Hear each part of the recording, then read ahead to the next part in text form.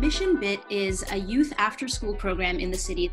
One thing we do is we try to eliminate all the barriers, making computer science fun and accessible. Food Runners SF has taken excess fresh food and connected that with communities in need. We're providing people with an opportunity to help their fellow San Franciscans.